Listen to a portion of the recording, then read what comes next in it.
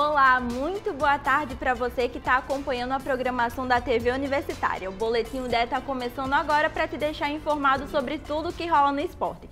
E hoje a gente vai falar sobre América, ABC, Copa do Brasil e para me ajudar a falar sobre tudo isso temos aqui Gabriel Gomes. Boa tarde, Gabriel. Boa tarde, Duda, e boa tarde para você que nos acompanha na TV Universitária.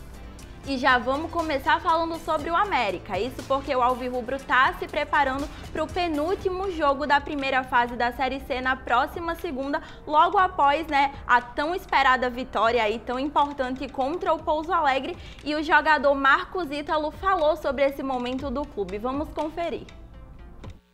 Foi uma vitória muito importante para nós, né? A gente estava precisando desse resultado. A gente vinha de vários resultados negativos. E esse jogo contra o Pouso Alegre era um jogo de divisor de águas, né? E a gente acabou deixando um adversário para trás. Hoje o Pouso Alegre é rebaixado e a gente continua vivo com o sonho de permanência na Série C. E foi um jogo muito bom, né? Onde a torcida compareceu, onde a torcida começou protestando, mas depois abraçou, depois nos apoiou. E é o que precisamos para o jogo de segunda-feira. Pois é, né, Gabriel? O América tá aí sonhando com essa essa possível chance na Série C, mas segundo os números da competição, isso é possível? Ainda dá, Duda. Vale a pena o torcedor americano sonhar e tá comprando essa briga, né? Já são mais de 12 mil ingressos vendidos para esse duelo contra a Aparecidense. Um jogo muito importante para o América e tem o poder da torcida. O Marcos Ítalo até fez uma pequena crítica, começou criticando a gente, mas depois deu tudo certo, porque o América demorou para engrenar no jogo contra o Pouso Alegre e no segundo tempo fez uma boa atuação. Rafinha foi muito importante, Gabriel Silva e principalmente o retorno do Alas Pernambucano, jogador muito importante para esse América América e esse resgate. O América tinha tem três finais, tinha três finais antes desse jogo contra o Pouso Alegre. Ganhou do Pouso Alegre, precisa ganhar da Aparecidense para facilitar a missão contra o Floresta.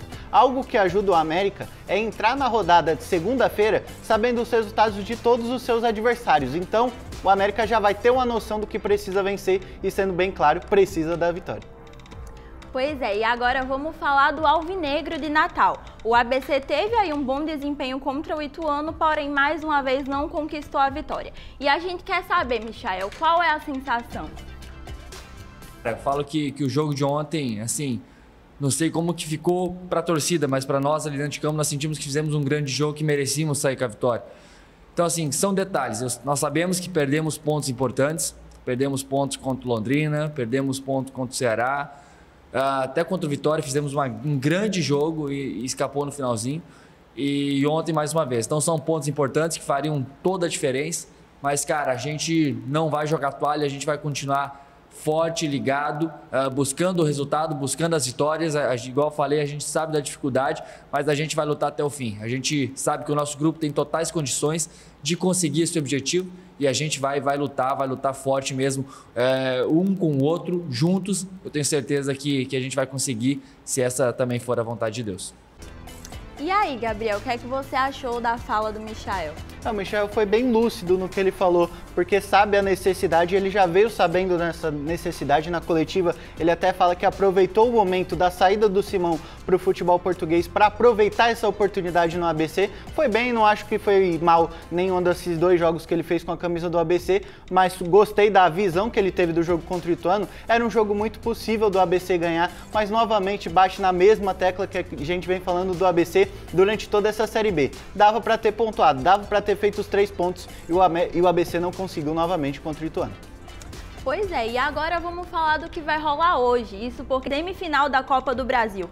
São Paulo enfrentando o Corinthians, Grêmio tentando reverter o placar contra o Flamengo. E aí, Gabriel, quais são as expectativas para os jogos de hoje? A expectativa é alta porque mudou muita coisa. O primeiro jogo das duas semifinais foram há três semanas e era o Corinthians que ainda estava engrenando, mas perdeu o Roger Guedes para esse jogo contra o São Paulo. O São Paulo, que estava tá vivendo uma má fase, trouxe Lucas Moura e Rames Rodrigues para fazer a força máxima contra o Corinthians. Do lado do Flamengo, duas brigas. O assistente do São Paulo brigando com o Pedro, Varela dando, é, o Gerson dando um soco no Varela, o clima muito ruim no Flamengo e o Grêmio, que precisa engrenar, tem Luiz Soares novamente para o jogo de hoje. Então a expectativa fica. Eu acho que o favoritismo do primeiro jogo deve valer para o segundo jogo. O Flamengo deve manter a vantagem e o Corinthians também.